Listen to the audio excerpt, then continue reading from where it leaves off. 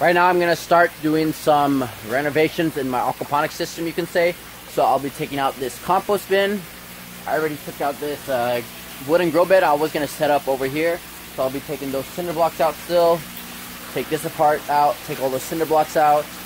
This I will move entirely to this side.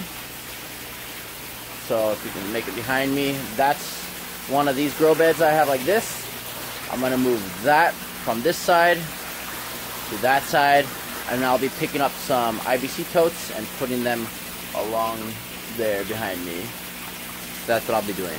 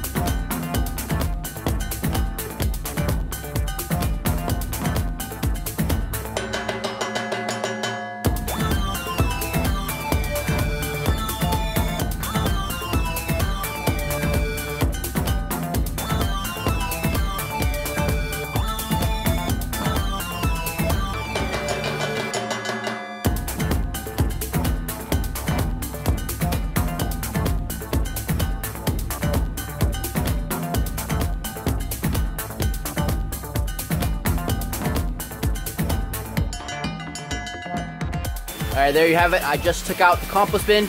You can see it, the empty spot behind me right here. So that was there because I wanted to generate heat for when it was cold during the winter. Focus the camera.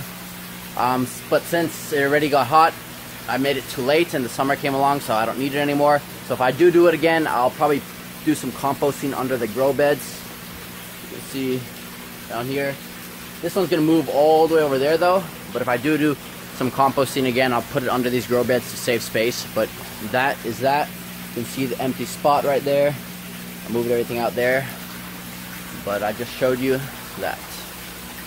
Thank you for watching.